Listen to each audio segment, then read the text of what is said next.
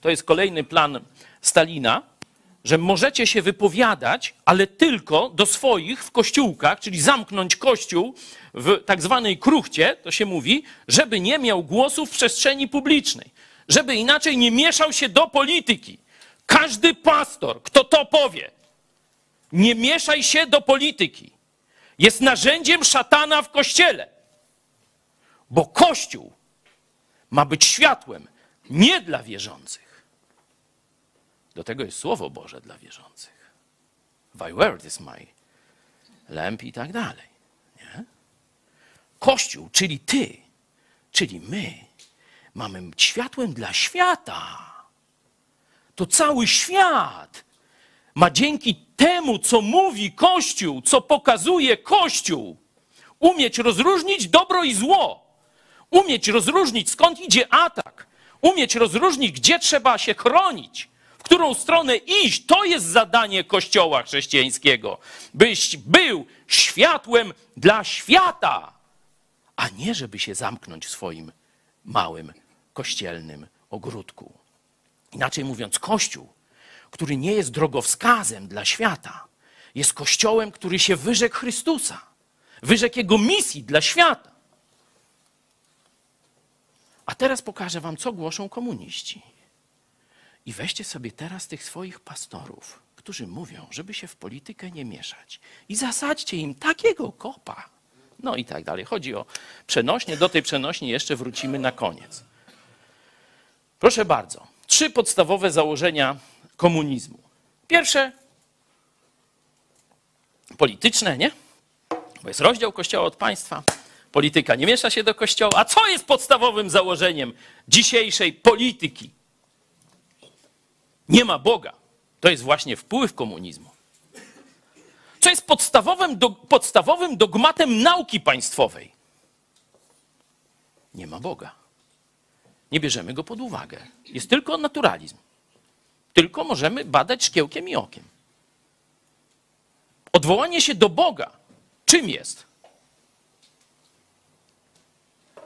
Jest złamaniem kanonu nauki.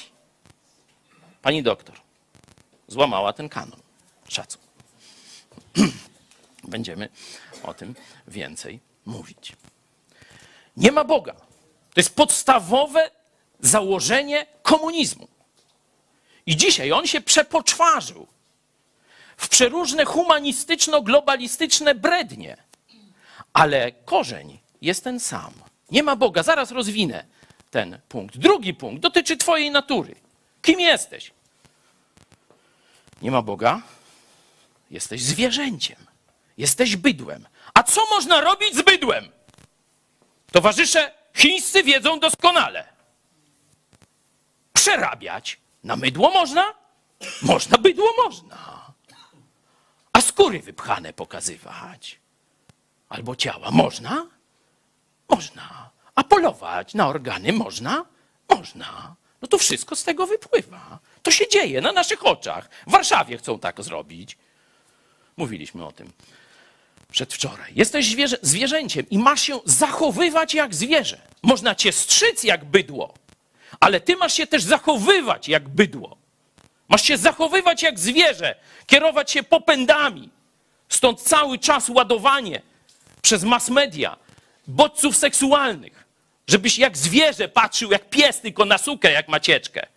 To jest, to jest właśnie idea komunistyczna dla Twojego zachowania. Jesteś zwierzęciem, masz się zachowywać jak zwierzę. Trzeci punkt. Nie masz żadnych przyrodzonych praw, wolności ani własności. Partia da ci. Jak? Będzie miała humor. A jak nie, to ci odbierze. A ty co? Ruki po szwam. Pewną odmianą tego kultu partii komunistycznej jest kult państwa. To już w chrześcijaństwie jest. Ślepy pasterz dokąd zaprowadzi stado? Ślepy ślepego prowadzi, obaj w dół wpadną. Czyli pastor, pasterz musi być poinformowany, musi wiedzieć, co się dzieje. Pamiętacie pierwszy odcinek o tych cechach charakteru, charakter first, alertness, czyli czujność, zdefiniowana jako orientowanie się w tym, co się dzieje w obszarze, szczególnie w obszarze powierzonym Twojej odpowiedzialności. Mąż musi się orientować, co się dzieje w rodzinie, z dziećmi, z żoną, w pracy i tak dalej. Szef w firmie musi się orientować tu. Wódz wioski musi się orientować i tak dalej. Polityk musi się orientować tu. Pastor musi się orientować we wszystkim. Po co się było pchać? Jakżeś głupi? Jak masz móżdżek wielkości orzeszka, to po coś się pchał na pastora? Pastor ma się orientować we wszystkim. Kropka, koniec. Widzicie? Ślepi i durni, nierozumni, debile na pastorów poszli. Do łopaty bym ich nie zatrudnił. Kościołami przewodzą. Nierozumni, nieme psy. Nie ja to mówię, Słowo Boże. I teraz mamy wzór Bożego polityka. Bożego rządzącego. Nagradza dobrych, a karze surowo i w gniewie złych. A jeśli teraz któryś polityk mówi, że trzeba robić odwrotnie, to czy można w kościele powiedzieć, że nie ma różnicy między tymi politykami? Tak jak między uczciwym a złodziejem? By nie było różnicy? Dokładnie ta sama metodologia. A zobaczcie, a w kościołach usłyszycie, nie oceniajmy polityków. O, jedni prawicowcy, drudzy lewicowcy, my wszystkim głosimy Chrystusa. Nie róbcie różnicy. A najlepiej w ogóle, baranki moje, nie mieszajcie się do polityki. My, owieczki, znaczy wilki w owczej skórce, wszystko za was załatwimy. To jest dzisiaj nauka, którą otrzymują pastorzy w komunistycznych seminariach i mówią na kazaniach dzisiaj w Polsce i w Stanach niestety. Rzeczywiście sytuacja nie tylko w Europie Zachodniej szczególnie jest bardzo poważna, ale i w Stanach Zjednoczonych. E, praktycznie młodzież wychowywana w publicznych szkołach, a potem nawet w prywatnych uniwersytetach już nie widzi zagrożenia komunizmem. Już komunizm jest takim, takim fajnym, przyjaznym e, jakimś pomysłem na, na polepszenie naszego świata. O takie już kucypały tam są. Dlatego myślę, że to jest szczególna rola Polaków, którzy przeżyli komunizm, albo ich bliscy przeżyli komunizm, którzy dostali albo od komunistów, wiecie, kulę w głowę, albo jakieś inne straszne rzeczy.